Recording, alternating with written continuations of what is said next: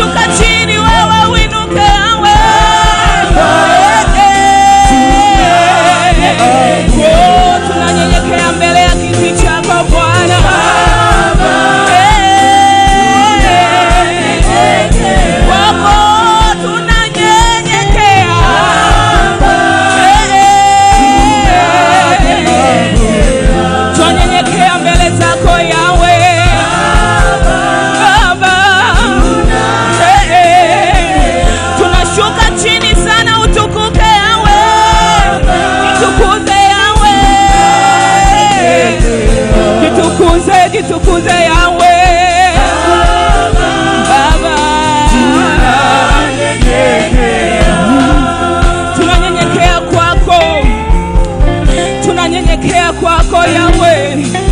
Jitukuze mahali hapa Bwana. Karibu na uweza na utukufu wako. Karibu utukuke Yawe. Tuone uzuri wa utakatifu wako.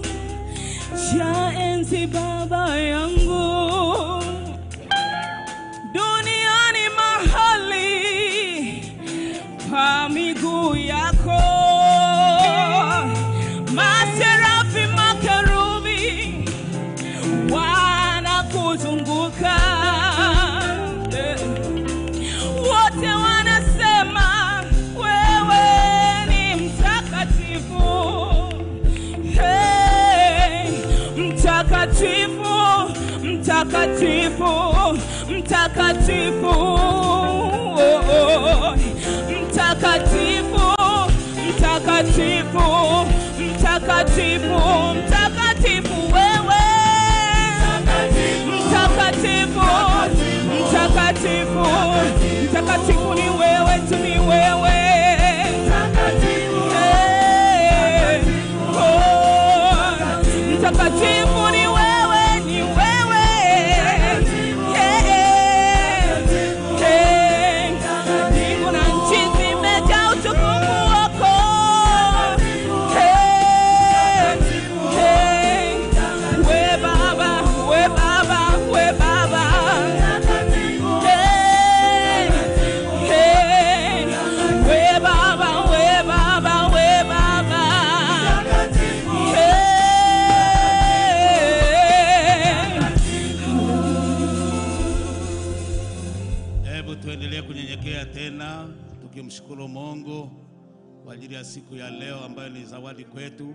kwetu. Hebu mshukuru Mungu, sema neno. Hebu sema neno mbele za Mungu. Hebu mwambie Mungu shida yako na mahitaji yako, ili Bwana akutembelee asubuhi ya leo, si kwa akili zako wala ujanja wako, mpaka leo umekuweka mahali hapa. Hebu mweleze Mungu shida yako na mahitaji yako asubuhi ya leo. Mkabidhi Mungu njia yako, mkabidhi Mungu biashara yako, mkabidhi Mungu shughuli zako, mkabidhi Mungu biashara zako, mkabidhi Mungu hata nyumba yako uliyoiacha kule nyumbani kwako na mali zako ulizonazo kule. Hebu mwambie Mungu asimame pamoja na wewe kwa muda huu mfupi. Baba, katika jina la Yesu tunakuhimidi, tunakutukuza, tunakuheshimu, tunakunyenyekea. Na ndio mwana, hata leo asubuhi ya leo umetuachia tena kwa mara nyingine, umetuchagua ukatuweka tena katika uhai na uzima, ukatufutia hukumu, e Bwana, ukatuandika upya Mungu majina yetu kwenye kitabu chako cha uzima. Asubuhi ya leo tumeona Mungu Baba mfalme ukitupigania, ukatukingia hatari, majaribu, nguvu za giza, mapepo yameshindwa katika jina la Yesu. Damu inayonena mema imetutakasa, imetuponya. Na asubuhi ya leo Baba, nakukabidhi kila mmoja aliyeingia hapa, nakukabidhi kila mmoja aliyomo katika kutusikiliza katika redio. Na wengine ambao wanatusikiliza katika YouTube, na wakabidhi mikononi mwako e Bwana, walioko ndani ya nchi yetu Mungu, na nchi yetu naikabidhi mikononi mwako, ikawe na amani, na wengine walioko nje ya nchi yetu Bwana. Baba, katika maeneo mbalimbali wanaotusikiliza Baba, nao Mungu kawatembelee. Wagonjwa walioko India na wengine walioko Ulaya na wengine walioko Afrika katika jina la Yesu, watembelee asubuhi ya leo, na wagonjwa waliomo katika nchi yetu, mahospitali mbalimbali, watembelee asubuhi ya leo Baba. Wasafiri wanaosafiri maeneo mbalimbali, watembelee asubuhi ya leo Bwana, wanaotembea kwenye ndege, wanaotembea na meli, wanaotembea na treni, wanaotembea na mahali popote, wanaoshuka milima na mabonde, watembelee asubuhi ya leo Bwana. Na zaidi Mungu, ufalme wa mbinguni ukaguse kila mmoja mhitaji ambao saizi hata asubuhi ya leo, tembelea magereza yote, tembelea vituo vyote, tembelea Bwana majela yote, tembelea walioko mahabusu na wengine saizi wanaandaliwa kwenda mahakamani. Baba Mungu kawatetee, wewe ndio mtetezi, Mungu wa mbingu na nchi. Kuna wanaoteseka, kuna ambao Mungu ambao wanaishi maisha magumu. Baba, asubuhi ya leo wafungue ili wakuone Bwana. Futa mateso yote, futa nguvu za giza, toeka nguvu za kipepo, toeka laana, toeka nuksi, toeka roho za kukataliwa, toeka roho chafu. E Mungu mfalme wa mbinguni, hata neno lako asubuhi ya leo nalokwenda juu ya miguu, katika jina la Yesu, miguu yetu Baba ikaingiwe na nuru yako Bwana. Giza iliyomo kwenye miguu, toka kwa jina la Yesu. Bariki uchumi wao waliopo, bariki e Bwana, bariki biashara, bariki kila mmoja. Baba, zungumza na kila mmoja e Bwana asubuhi ya leo, wafungue waliomo katika vifungo, wafunguliwe katika hatari zote. Kwa jina la Yesu. Wabariki hata redio Upendo, wabariki hata wale ambao wachungaji, wainjilisti, maparishweka, bariki askofu wetu, bariki katibu mkuu na msaidizi wake, bariki e Mungu Baba, manaibu wote. Katika jina la Yesu. Ponya majimbo yote, ponya katika jina la Yesu ponya washarika wote moja moja. Wewe ni Mungu Baba asiyeshindwa. Asubuhi ya leo unakwenda kutushindia. Naamini Baba, hata asubuhi hii ninakabidhi eneo hili lote, naliweka mikononi mwako. Damu ya Yesu Kristo ikatakase wafanya kazi wote waliomo kwenye ofisi na praise team wote. Baba, ponya mioyo yetu, ponya maisha yetu, ponya ndoa zetu, ponya watoto wetu, ponya wake zetu, ponya mipango yetu, ponya ratiba zetu, ponya kwa jina la Yesu. Tufute machozi e Bwana, roho za uchungu na mateso wafunguliwe kwa jina la Yesu. Waliomo kwenye vifungo wafunguliwe, bali Mungu Baba kaonekane asubuhi ya leo. Roho yako Mtakatifu ni mwaminifu, utakwenda kuwa pamoja nasi. Mungu mfalme wa majeshi, tunakiri kwamba kama si wewe, hata asubuhi hii leo tungekuwa wapi? Maana wewe unaweza, unaweza kwa kila kitu, unaweza kwa kila jambo, maana wewe ni Mungu pekee. Tembelea mahali hapa Bwana, tembelea maeneo haya tembelea mchungaji wetu aliyeko kule Arusha, tembelea mchungaji Kimaro na familia yake na watoto wake kwa jina la Yesu Kristo aliye hai. Asante Baba, hata kwa ajili ya mhubiri ambaye anakwenda kutufundisha neno lako msalojia ya Emmanuel. Baba, mtembelee Bwana, mguse, muinue wako Mtakatifu Bwana, mweke Mungu nguvu, umpe afya njema, ili tunapoendelea Bwana uwe pamoja nasi. Leo ni siku ambayo ya kumi na sita. E Bwana Baba, tunaiweka mikononi mwako, ikakombolewe Baba katika kutoka roho za maangamizi yote, tunaweka mikononi mwako, ni katika jina la Mungu Baba na Mwana na Roho Mtakatifu, amen. Napiga makofi mengi mengi, shangilie Bwana, shangwe shangwe shangwe shangwe shangwe. Daudi aliimba akasema, analifurahia waliponiambia na twende katika nyumba ya Bwana. Umekuja kwenye nyumba ya Bwana, hebu mshangilie, hebu piga makofi ya kueleweka, piga makofi ya. Yes. Heri ni jina, heri ni jina, heri ni jina la Yesu.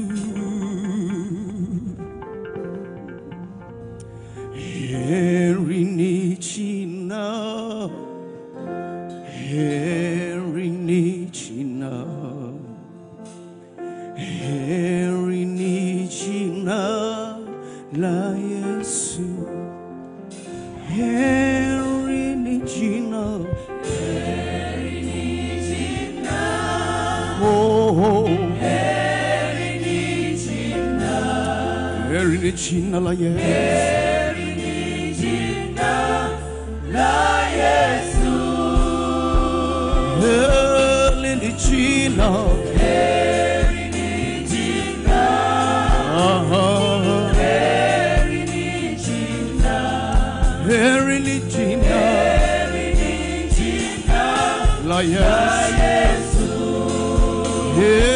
Erilichina La Jesus.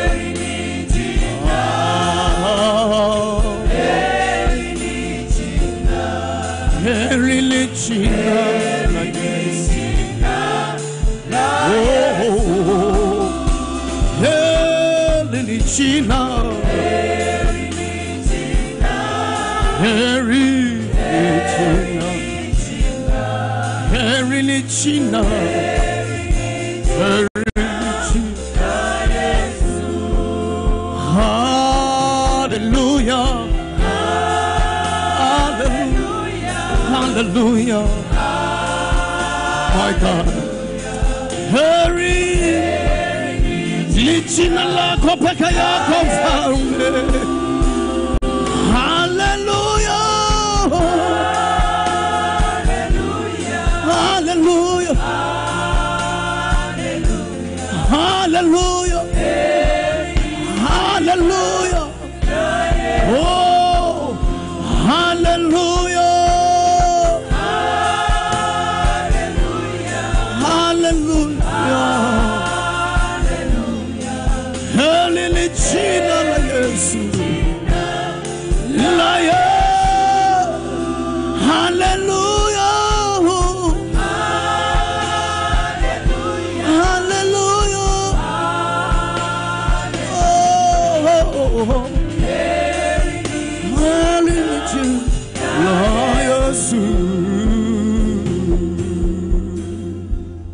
Makofi na vigelegele kwa ajili ya waimbaji. Haleluya, haleluya. Ongeza tena. Amen. Basi wakati huo taratibu kikaa kwenye uwepo wa Mungu na fungua na mimi maneno ya Mungu kutoka kwenye kitabu cha Yoshua. Yoshua mlango wa kwanza na ule mstari wa tatu. Kitabu cha Yoshua, Yoshua mlango wa kwanza na ule mstari wa tatu. Maneno ya Mungu yanasema, Yoshua mlango wa kwanza na ule mstari wa tatu. Uh, maneno ya Mungu yanasema, kila mahali zitakapokanyaga nyayo za miguu yenu nimewapa ninyi kama nilivyomwapia Musa. Kila mahali zitakapokanyaga nyayo za miguu yenu nimewapa ninyi kama nilivyomwapia Musa. Kila mahali zitakapokanyaga nyayo za miguu yenu nimewapa ninyi kama nilivyomwapia Musa. Fungua tena kitabu cha Nahum, Nahumu mlango wa kwanza na ule mstari wa tatu. Nahum moja na ule mstari wa tatu. Maneno ya Mungu yanasema, Bwana si mwepesi wa hasira, ana uweza mwingi, wala hata mhesabia mtu mwovu kuwa hana hatia kamwe. Bwana ana njia, Bwana ana njia yake katika kisulisuli na tufani na katika kisulisuli na tufani, na mawingu ni mavumbi ya miguu yake, na mawingu ni mavumbi ya miguu yake. Amen. Tuombe. Bwana Yesu, tunakupenda. Ni asubuhi nzuri tena, tumekutanika ndani ya hema yako, tumekutanika mahali hapa kwa ajili ya kuendelea kujifunza. Roho Mtakatifu, sema nasi kwa namna ambavyo umekusudia, sema nasi kwa namna ambavyo tutakuelewa. Tunakupenda Bwana, na tunajua na wewe unatupenda pia upeo. Tuko mahali hapa, tunakuhitaji. Sema nasi, tusaidie juu ya lango la miguu, katika jina la Yesu ninaomba na kushukuru, amen. Bwana Yesu asifiwe. Ah, tunaendelea leo mbele kidogo, na asubuhi tutaangalia miguu ni ishara ya umiliki. Miguu ni ishara ya umiliki. Miguu ni ishara ya umiliki. Hichi ndicho kichwa kidogo ambacho tutaendelea nacho kukiangalia asubuhi ya leo. Lakini kabla sijaanza kufundisha, pia namshukuru Mungu kwa ajili ya praise team. Uh, nahisi nikirudi Iringa chuoni, miongoni mwa vitu ambavyo nitashangaa au nitavikumbuka zaidi Kijitonyama ni uwezo mkubwa walionao hawa watu wa praise team. Yaani kila anayesimama kuimbisha mimi nachanganyikiwa kwa sababu Mungu ameweka kitu cha tofauti ndani yake. Hebu tuwapigie makofi. Amen. Waimbaji, Mungu awabariki sana, pamoja na wapiga vyombo, Mungu awabariki sana. Hicho kitu kikubwa ambacho Mungu ameweka ndani yenu kiendelee kukua zaidi na zaidi, na dunia ikakione pia. Basi tunaangalia miguu ni ishara ya umiliki. Miguu, miguu ni ishara ya umiliki. Miguu tumeang, tumeangalia tokea Jumatatu namna ambavyo Mungu amesema na sisi kupitia lango linaloitwa miguu, na tuliona tulipoanza na kile kitabu cha Amos, kile kitabu cha Amos, Mungu anapoongea na wana wa Israeli juu ya adui atakayetokea na kuwakamata wana wa Israeli, na juu ya adui yule anayelenga maeneo matatu. Analenga eneo la kwanza ni ardhi, analenga eneo la pili ni nguvu zao, anazishusha chini, na eneo la tatu uh, majumba yao yanatekwa nyara, majumba pamoja na watu wanaekaa ndani ana, wanatekwa nyara. Sasa kwa asilimia kubwa, kwa asilimia kubwa katikati ya maisha yetu, ili tufanikiwe, ili tuweze kumiliki, ili tuweze kutawala, tunaitegemea ardhi kwa kiwango kikubwa. Ardhi kwa kiwango kikubwa tunaitegemea katika maisha yetu, ili tuweze kutawala, ili tuweze kumiliki. Uh, inategemea na ile ardhi au pale mahali ambapo unapaishi kwa wakati huo, hiyo ardhi imekaaje na wewe, iko upande wako au haiko upande wako? Sasa unaona maneno haya ambayo Mungu anamwambia Yoshua juu ya popote zitakapokanyaga nyayo za miguu yenu nimewapa kumiliki.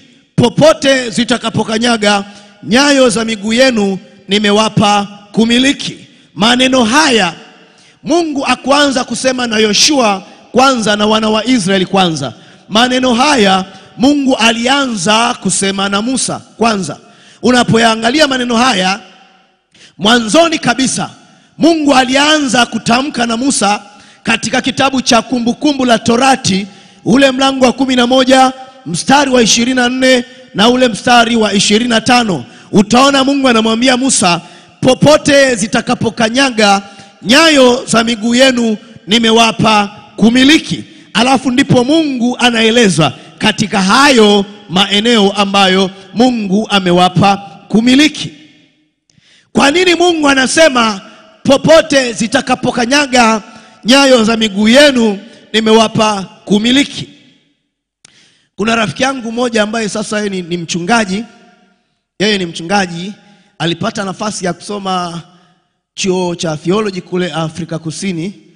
Uh, yule mchungaji anasema akiwa mwanafunzi Afrika Kusini, wakati anasoma mm, alipoiona mistari hii Watanzania kwenye kile chuo walikuwa wako wawili. Anasema siku moja jioni akamwambia mwenzie, basi twende mahali fulani. Wakaenda mahali kwenye yadi ya magari, mahali ambapo wanauza magari. Basi yule mchungaji na mwenzie wakavua viatu vizuri kabisa, wakabakia na miguu chini, miguu peku. Wakaanza kuizunguka ile yadi ya magari, alafu wanaomba wanaomba, wanamwambia Mungu, Mungu umesema kwenye maneno yako kwenye kitabu cha Yoshua, popote zitakapokanyaga nyayo za miguu yetu, wewe umetupa kumiliki. Kwa hiyo Mungu, ninaomba unipe kumiliki hii yadi ya magari, iwe ya kwangu, iwe ya kwangu, iwe ya kwangu. Yule mchungaji akawa anaomba vile. Sasa baadaye yule mchungaji alipopata ufunuo kwenye mistari hii, ndio akajua aka, akajua. Bwana Yesu asifiwe kanisa. Bwana Yesu asifiwe. Mungu anaposema popote zitakapokanyaga nyayo za miguu yenu nimewapa kumiliki, sio ana maana kwamba uende kwenye duka la mwenzio au uende kwenye nyumba ya mwenzio alafu wewe ukazunguke pale ukavue viatu, mwambie Mungu, umesema popote takapokanyaga hizi nyayo umetupa kumiliki. Hapana, Mungu hakuwa na maana hiyo. Mungu hakumaanisha hivyo, bali alichokuwa anamaanisha Mungu ni kwamba a, mafanikio ya maisha yetu yapo kwenye ardhi. Mafanikio ya maisha yetu, ili Mungu akuinue, ili Mungu akubariki, mafanikio makubwa yapo kwenye ardhi. Sasa ili uyaone hayo mafanikio yaliyopo kwenye ardhi, uweze kumiliki hivyo vilivyopo kwenye ardhi, inategemea lango linaloitwa miguu umeliombeaje. Hilo lango limekombolewa kwa kiwango gani? Hilo lango limefunguliwa kwa kiwango gani? Kwa hiyo anataka ujue mafanikio yako, mafanikio yako, kuinuliwa kwako, baraka zako zinategemea lango linaloitwa miguu kwa kiwango cha tofauti. Ili Mungu akuinue, ili Mungu akubariki, inategemea mahusiano ya wewe na baraka. Mahusiano na Mungu na baraka zako yanategemea lango linaloitwa miguu. Kwa hiyo lango linaloitwa miguu ni lango ambalo Mungu analitumia kupitisha baraka. Kwa hiyo huwe na uhakika kwamba tuliona miguu ni nafasi ya utawala wa kifalme. Miguu tukaona jana imebeba kitu kingine cha tofauti kwamba kimebeba kime, juu ya habari ya, ya, ya, ya miguu ni malango ya kiroho. Miguu ni silaha ya vita. Kwa hiyo kama miguu imebeba vitu vyote hivi, hauwezi kufanikiwa usipojua kuliombea hilo lango linaloitwa miguu.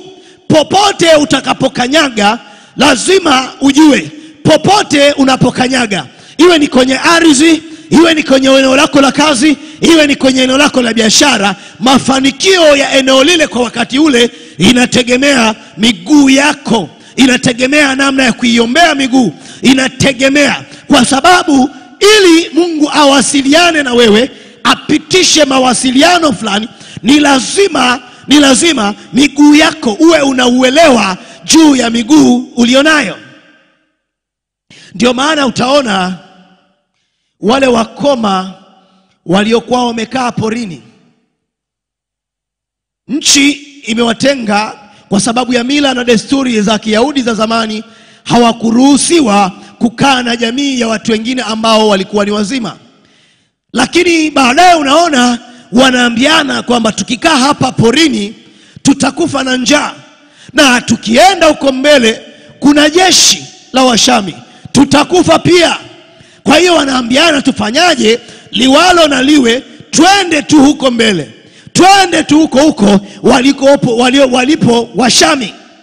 Na unaona wanapoanza kuchukua hatua ya kwenda kukabili lile jeshi la Washami, vile vishindo vya wakoma Mungu anavibadilisha, anawasikilizisha Washami, na Washami wanaona sio vishindo vya kawaida, bali ni vishindo vya farasi. Kwa hiyo Washami wanakimbia, alafu wanaacha kila kitu ambacho walikuwa nacho kwa wakati ule. Kwa hiyo wakoma wanapofika kwenye ile kambi, wanakuta wa Washami wamekimbia na vitu vyote viko pale, unakuwa ndio mwanzo wa kuanza kumiliki kumiliki. Walipochukua hatua, Mungu katika zile hatua anaweka kitu cha tofauti, anawasikilizisha Washami kitu cha tofauti. Kwa hiyo miguu ni ishara ya kumiliki, kwa sababu katikati, katikati, katika miguu yetu, katika miguu yetu ambayo ni lango la kiroho, Mungu anataka tuchukue hatua.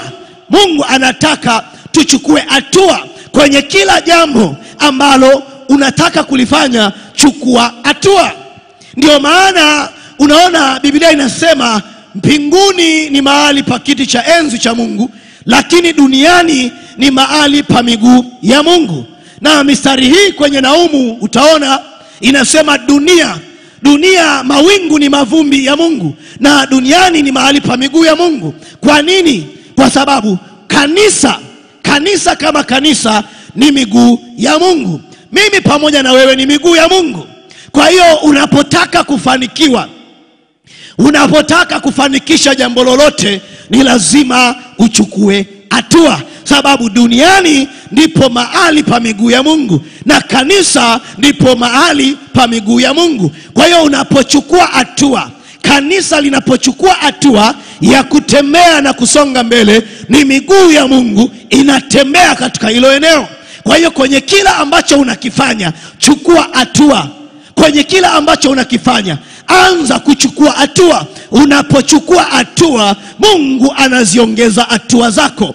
Mungu anazigusa hatua zako. Kwa hiyo utakapokaa mahali na kuendelea kulalamika hapo kwamba mbele kuna washami nyuma huku yapo majeshi na huku tukirudi nyuma hatutakiwi kwa sababu ya mila na desturi unaona wanapoanza kuchukua hatua katika kuchukua hatua sababu duniani ni mahali pa miguu ya mungu kanisa ndilo miguu ya mungu. Wanapochukua hatua wale wakoma wanapoanza kutembea mungu mwenyewe naye anaanza kutembea pamoja nao. Ndio maana washami wanaona kitu cha tofauti. Wanaona ni majeshi yanakuja wanaona ni maaskari wanakuja wanaona ni vishindo vya farasi vinakuja. Kwa nini wakoma walichukua hatua.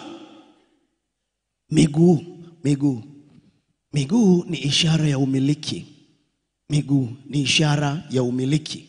Tunapochukua hatua tunapoanza kunyanyuka na kuchukua hatua tunapoanza kutembea tunapoanza kutembea tunapoanza kunyanyuka tunaelekea kwenye kule kumiliki kwetu. Mungu akasema na tumfanye mwanadamu kwa sura yetu na kwa mfano wetu ili aende akamiliki. Sasa ili uende ukamiliki vile ambavyo mungu anataka umiliki vinategemea lango lako la kiroho limekaaje kwa wakati huo kwa hiyo unapoelewa kwamba uh, ili ni miliki ili nitawale ili ya uchumi mkubwa ili niwe na mali nyingi ni lazima kwenye hili lango la kiroho miguu pamoja na kuachilia damu ya yesu lakini ni lazima niinuke na kuchukua hatua ni lazima ninyanyuke na kusonga mbele zaidi na zaidi. Haijalishi umefanya hiyo jambo kwa wakati gani. Umefanya jambo la kwanza limekataa. Umefanya jambo la pili limekataa. Nyanyuka tena na endelea mbele. Endelea kufanya tena zaidi na zaidi. Kwani unapoanguka mara moja usifie hapo wala usikate tamaa hapo. Kwani ipo nafasi ya kuinuka tena na kusonga mbele tena. Kanisa bwana yesu asifiwe haleluya haleluya haleluya haleluya ndipo ndicho alichofanya naaman. Naaman amekaa na ukoma kwa muda mrefu. Yule binti kijakazi akamwambia ah, kwenye nchi ya israeli yupo nabii ambaye ukienda kwa huyo nabii ukienda tu kwa huyo nabii ukamwona huyo nabii ah, hiyo mikono yako vidole vyako vitarudi na huo ukoma utaondoka.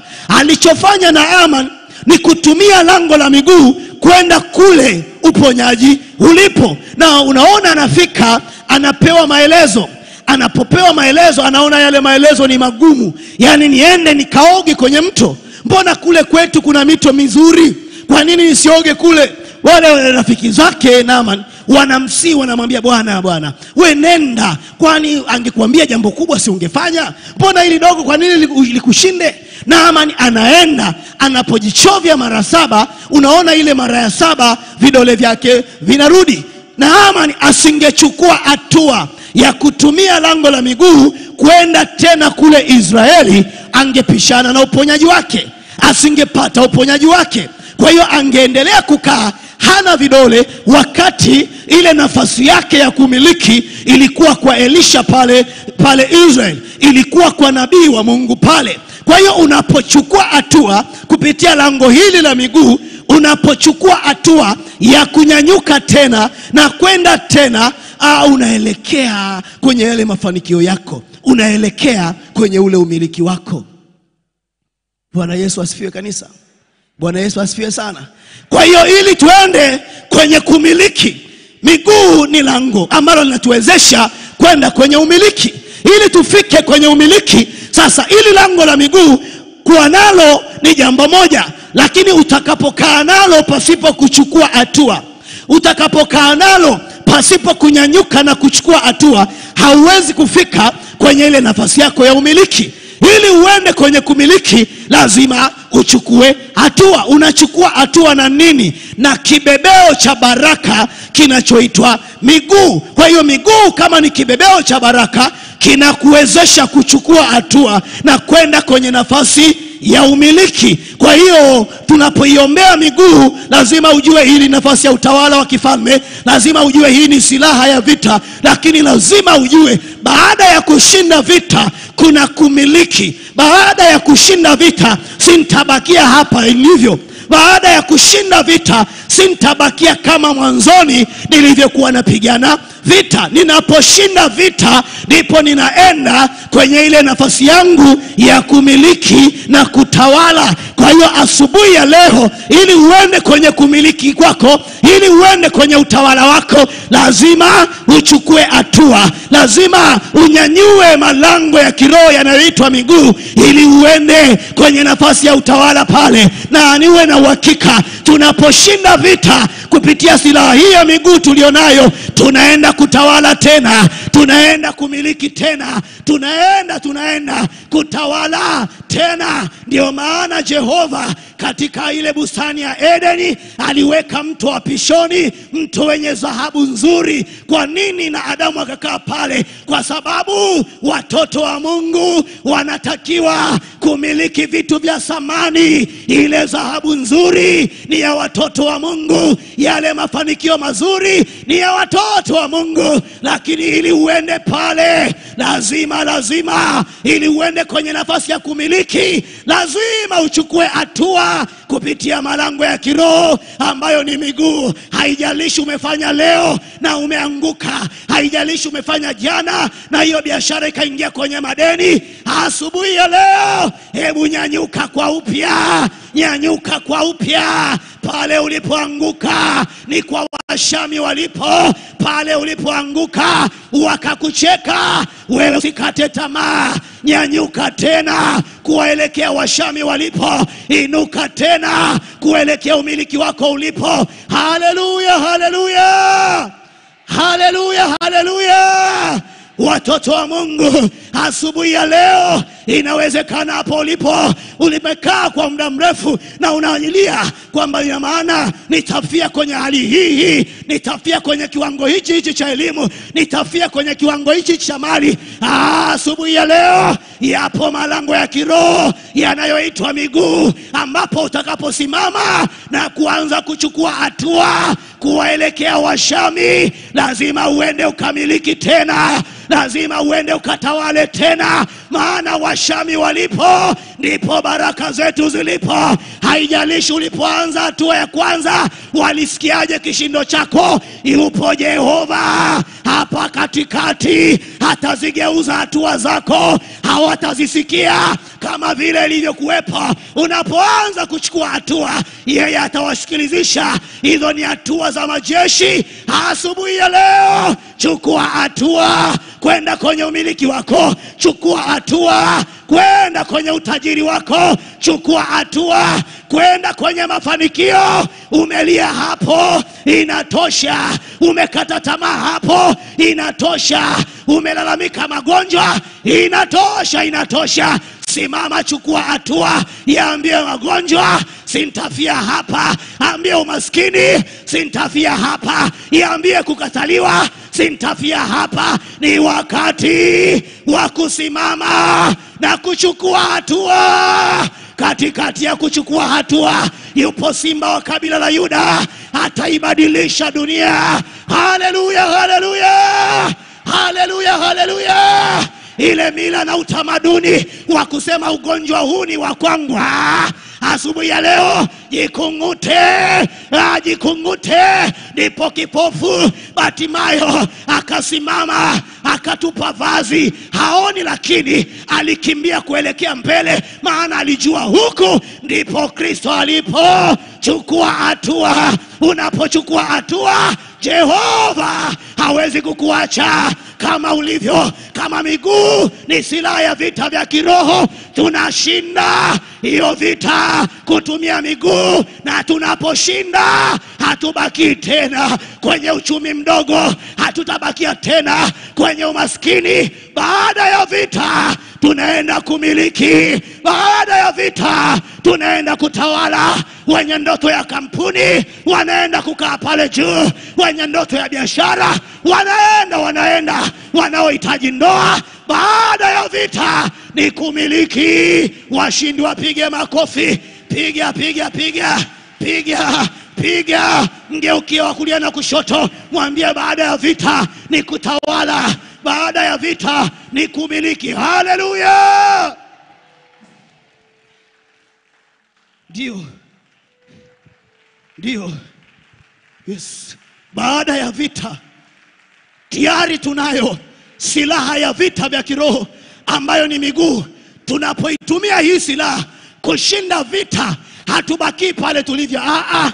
Hii silaha ya miguu tunapoitumia kushinda vita, tunaenda kumiliki, tunaenda tunaenda tunaenda maana sisi ni watoto wa mfalme na baba yetu ni mfalme. Hakuna mtoto wa mfalme ambaye ana magonjwa, ambaye ana matatizo. Watoto wa mfalme wanakaa juu pale, watoto wa mfalme wanamiliki pale. Baada ya vita tunaenda kumiliki, tunaenda kutawala. Nafasi ya kumiliki ipo wazi, hayo malango ya kumiliki yamefunguka asubuhi ya leo. Nenda kamiliki katika jina la Yesu. Jesus. Jesus. Tuombe, tuombe, fuatia na mimi maneno haya. Sema, Bwana Yesu, asubuhi ya leo nimetambua Bwana kwamba miguu imebeba umiliki wangu, miguu miguu imebeba umiliki, imebeba umiliki. Bwana Yesu, Bwana Yesu, ninakuamini wewe Bwana, ninakupenda wewe Bwana. Wewe umesema miguu ni silaha ya vita. Washindi wanaposhinda vita wanaenda kwenye kutawala, wanaenda kwenye kumiliki. Ewe miguu yangu, ewe miguu yangu, baada ya kushinda vita ni nafasi ya kumiliki, ni nafasi ya kumiliki kwa jina la Yesu, kwa damu ya Yesu. Kila aina ya maadui waliosimama mbele yangu ili kunizuia nisiende kumiliki, asubuhi ya leo, wacha Jehova akawasikilizishe kishindo cha majeshi, kishindo cha majeshi asubuhi ya leo, asubuhi ya leo. Wewe biashara kubwa, nitakumiliki mimi. Wewe kampuni, nitakumiliki mimi. Wewe nyumba, nitakumiliki mimi. Wewe kazi, utanipeleka kwenye umiliki wangu asubuhi ya leo.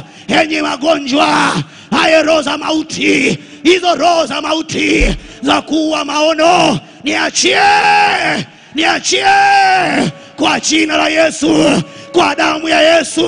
Mimi sio wenu tena, mimi sio wa magonjwa tena, mimi ni mmiliki katika jina la Yesu. Mimi ni mmiliki. Haya, ingia, ingia, ingia, ingia kuomba kwa dakika kadhaa. Yes, ndiyo Bwana, ndiyo Bwana, Bwana wa mabwana, Bwana wa majeshi ndilo jina lako, kwa sababu maadui wanapotuzunguka, wewe uko tayari kwa ajili ya kutushindia vita, kwa ajili ya kutukingia vita. Asubuhi ya leo Bwana, watoto wako tumeingia kwenye hema yako Bwana ama Bwana, Wewe umesema na sisi juu ya habari ya miguu. Miguu ni lango la umiliki. Bwana ama Bwana, Bwana ama Bwana, Bwana ama Bwana, ni wakati wetu Bwana, ni saa yangu sasa ya kusimama kwa upya na kwenda kwenye kumiliki. Ni wakati wangu sasa wa kuinuka kwa upya na kwenda kwenye kumiliki. Endelea kuomba, endelea kuomba. Wewe unayetusikiliza kwenye redio, wewe unayetuangalia kwa njia ya YouTube, endelea kuomba, endelea kuomba. Ni nini ambacho unahitaji kumiliki? Ni nini ambacho unahitaji kutawala?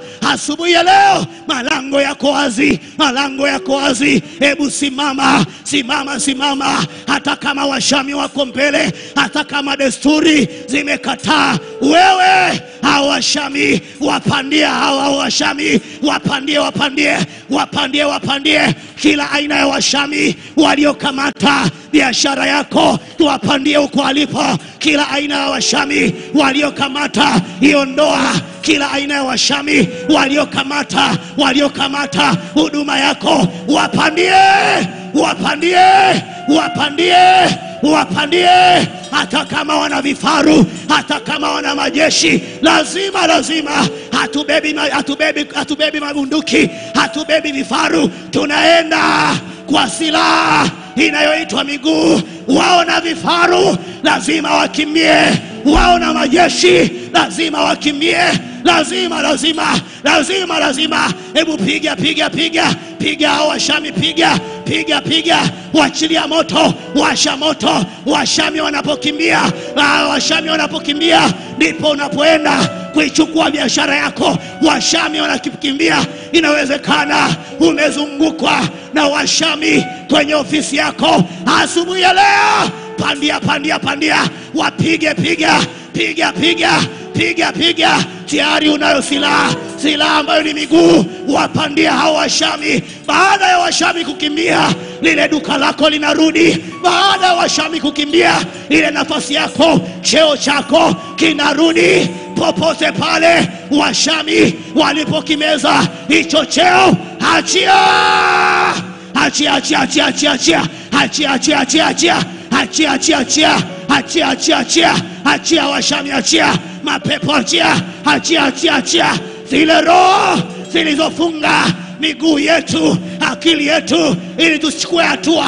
Asubuhi ya leo kata hizo kamba kata kata kila aina ya sanda kwenye mikono kila aina ya sanda kwenye miguu. Katika katika katika rakakakaka rikokokosaka riboboboshoko rikakaka ribobobobo rabababaka. Ah, bwana ninaomba ninaomba kwa ajili ya wale ambao kila wakitaka kuanzisha kitu kipya wakitaka kuanzisha biashara mpya. Ndani yao hiyo roho ya hofu inaingia. Asubuhi ya leo hofu dondoka hofu dondoka hofu dondoka. Ni wakati wa kusimama na kuchukua hatua kwenda kuanzisha biashara kwenda kuanzisha kampuni kwenda kwenda kwenda kwenda kwenda kwenda. Kwa jina la Yesu ninaachilia damu ya Yesu, hiyo damu ikatembee kwenye miguu yako, hiyo damu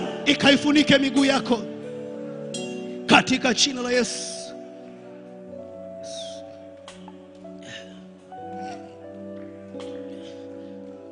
Yes.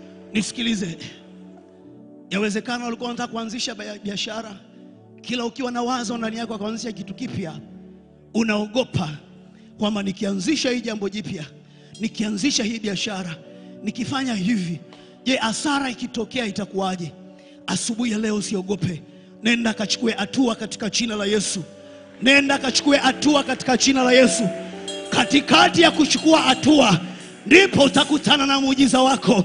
Katikati ya kuchukua hatua ndipo muujiza wako ulipo. Usiogope hiyo biashara, chukua hatua.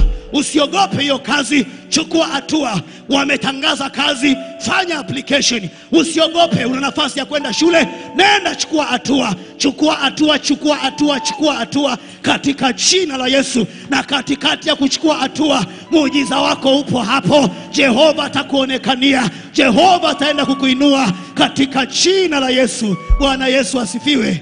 Usiogope kuchukua hatua, nenda kachukue hatua. Miguu ni umiliki, na miguu hiyo ulionayo ikakupeleke kwenye umiliki mkubwa. Basi kamata sadaka yako, tuombe. Muda wetu umeisha.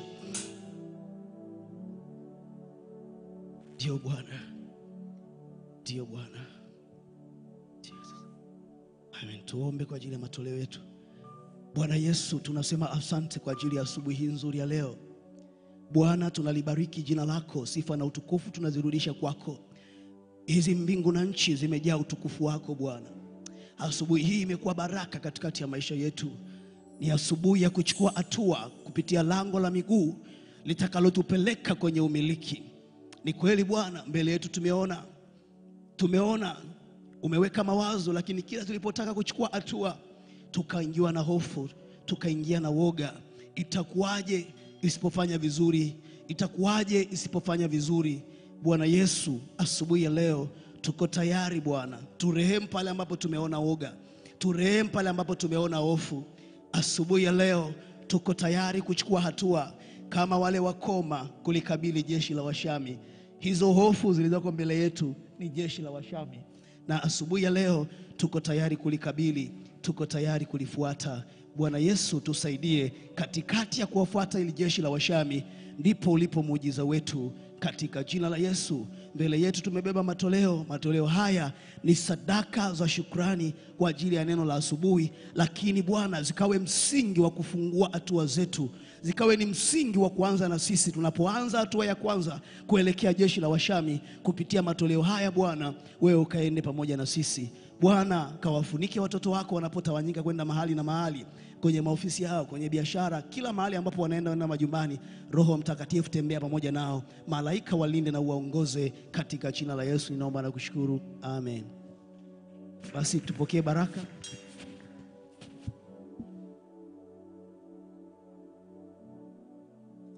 Pokeeni barakani nyote mnaomtegemea na kumwamini. Bwana akubarikie na kulinda. Bwana akungazie nuru za uso wake na kufadhili. Bwana akunulie uso wake na kupa amani. Kwa jina la Baba na la Mwana na la Roho Mtakatifu, amen. Na Mungu akubariki kuingia kwako na kutoka kwako. Nendeni katika baraka na heri na mafanikio katika shughuli zenu za leo, amen.